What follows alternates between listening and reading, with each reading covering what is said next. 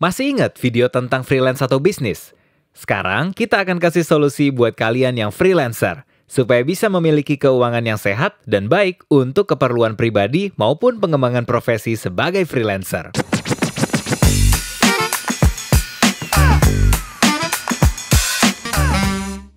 Freelancer adalah individu yang menjual jasa dengan keahlian yang dimiliki pada proyek tertentu.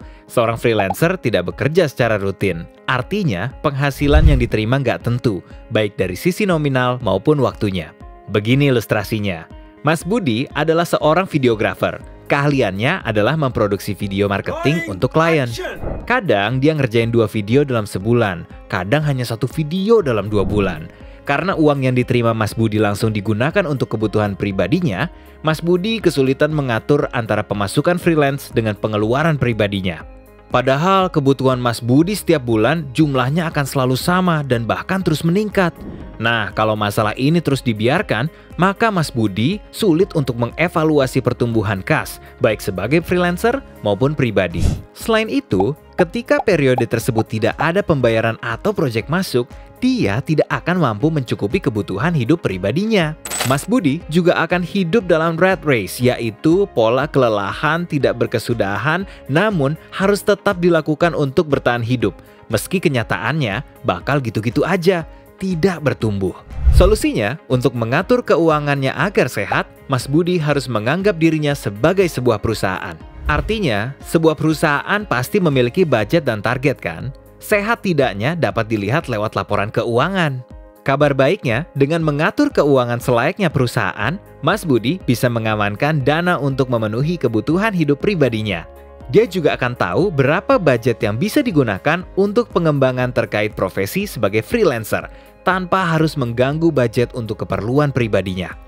Dan bisa menyiapkan periode untuk istirahat atau cuti dalam mengambil proyek, tanpa harus khawatir nggak bisa memenuhi kebutuhan hidup pribadinya. Gimana ya cara pengaplikasiannya? Pertama, buat dua rekening bank.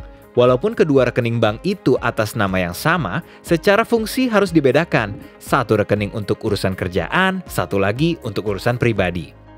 Kedua, hitung budget kehidupan pribadi. Di awal, jangan nentuin budget yang tinggi untuk kehidupan pribadi kamu. Hitung kebutuhan dasar untuk kalian bisa bertahan hidup dan bisa ngerjain project dengan tenang. Ketiga, bikin target penghasilan.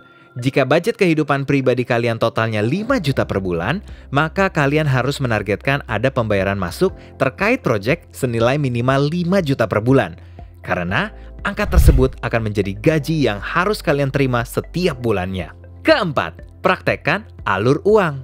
Ini poin pentingnya. Pastikan setiap pembayaran masuk dari project harus melalui rekening satu, rekening yang untuk urusan kerjaan. Kalian gak boleh ngambil uang dari rekening satu ini langsung untuk keperluan pribadi. Kebanyakan freelancer langsung mendebet rekening usaha jika ada pengeluaran pribadi. Salah, kamu cuma boleh mengambil gaji dalam contoh kasus ini 5 juta yang tadi. Dalam satu tanggal setiap bulannya untuk dipindahkan ke rekening dua, yaitu rekening urusan pribadi kamu persis seperti perusahaan membayar gaji karyawan. Terus gimana kalau uang masuk dalam satu bulan lebih dari 5 juta? Kalian tetap cuma bisa ngambil 5 juta sebagai gaji kalian di satu tanggal itu. Kelebihan dananya bisa aja digunain untuk keperluan pengembangan kalian sebagai freelancer. Yang terakhir, buat laporan keuangan sederhana. Ingat, laporan keuangan ini hanya terkait rekening satu. Dengan mudah, kalian bisa cukup lihat mutasi bank di rekening satu berapa pemasukannya, berapa pengeluarannya, untuk kamu bisa membuat laporan laba rugi yang sangat sederhana. Nantinya akan terlihat seberapa sehatnya kamu sebagai freelancer. Nah, kalau kamu bingung untuk bikin laporan keuangan, Rashidi Consultant bisa bantu untuk ngatasin masalah kamu. Kamu bisa cek di deskripsi untuk lebih lanjut. Oke, semoga terbantu. Silahkan berikan masukan terkait video ini di kolom komentar. Jangan lupa like, share, dan subscribe kalau video ini berguna buat kalian.